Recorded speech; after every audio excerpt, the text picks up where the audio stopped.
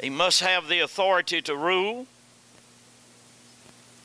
There must be a realm that he rules in. In other words, he rules over he rules over people.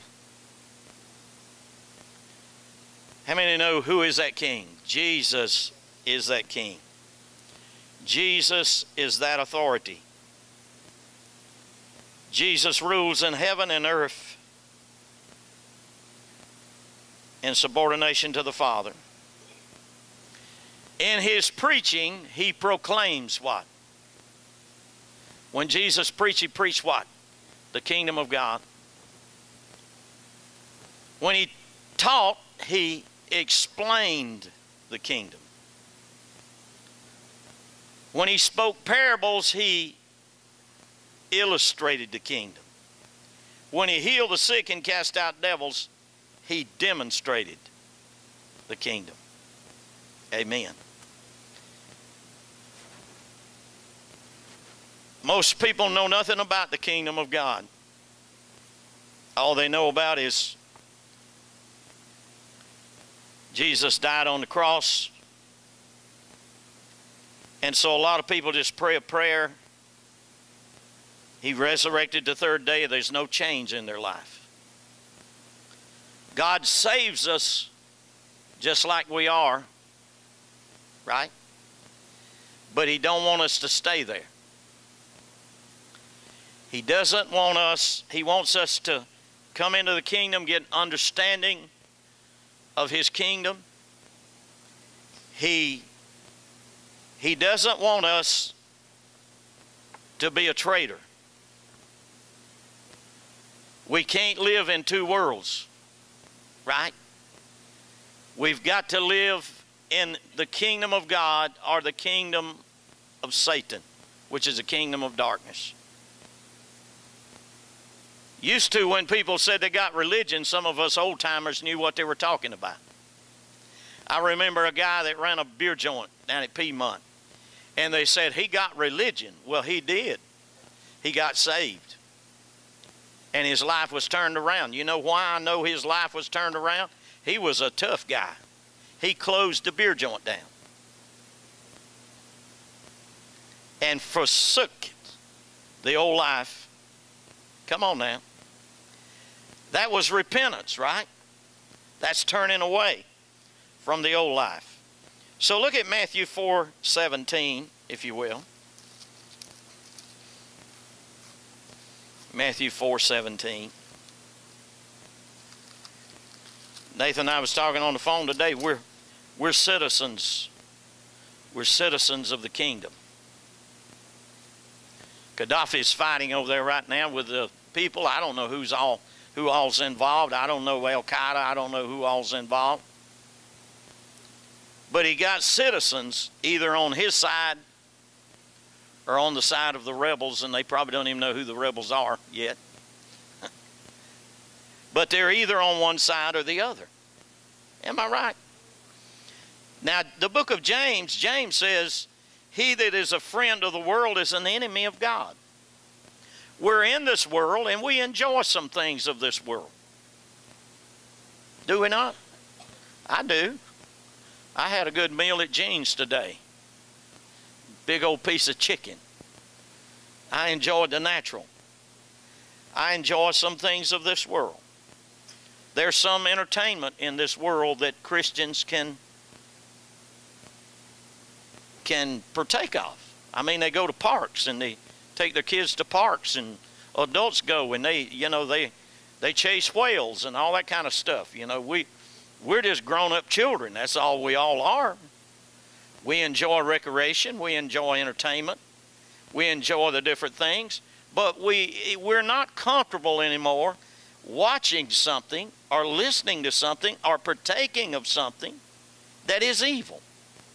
I mean, know when you're watching something on television and something evil comes on, you oh, you don't, they don't have to. Nobody has God don't have to ring a bell and say boom. You know, you feel it, right? You feel it. You feel it penetrating the into your room, and you you you change it and everything. The commercials are even bad sometimes. You're trying to watch the news, and they got these commercials. You have to flip it off of that. So the reason that we're not comfortable with that anymore is because we have a new nature. The Lord has done something in our life. The kingdom of God has entered into our lives. Amen. And we've had to press in to keep what God's doing. You, you can't back off from what God's doing. You got to press into what God's doing.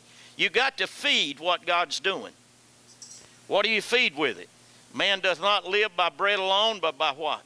Every word that proceedeth forth out of the mouth of God. I do not understand how Christians know that they've got to eat at least two or three meals a day, but yet they never pick their Bible up. And they are anemic spiritually. And they begin to slide back instead of going forward.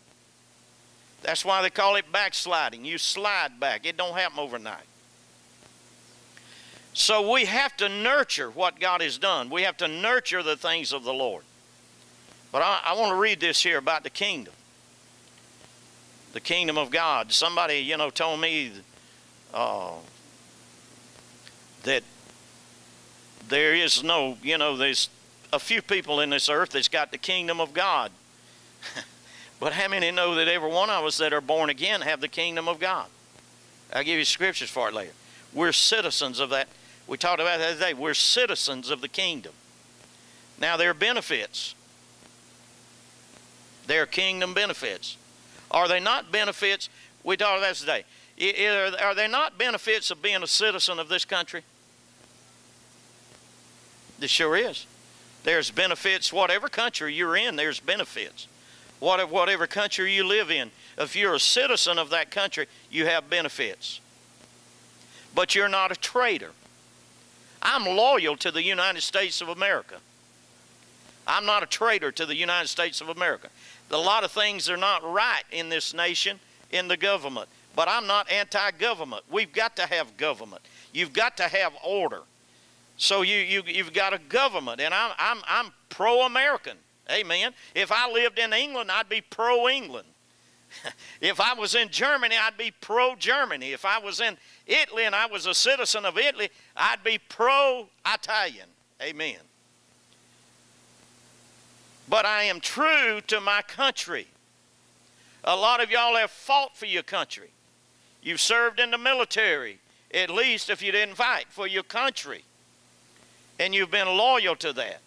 Judas was a traitor because he did not submit to God's kingdom, God's government.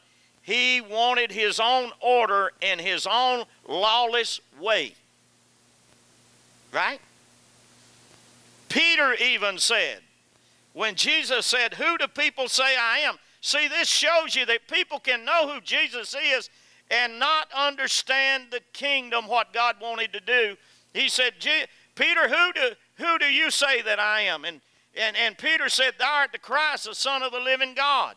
And a few words later, Jesus talks about, I've got to go to Jerusalem and suffer because I came to do this.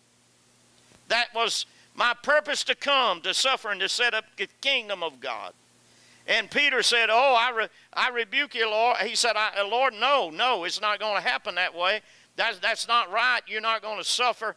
It, it, it's going to come another, you know, this is going to come another way. And Jesus said, Get thee behind me, Satan. Thou art offense to me. Amen. So Peter He was coming against what God wanted to do. It's no different than today. When people, when people refuse to obey the Lord, how do you get in the kingdom? For by grace are you saved through faith, and that not of yourselves. It is a gift of God, not of works, lest any man should boast. Jesus the King was obedient unto death.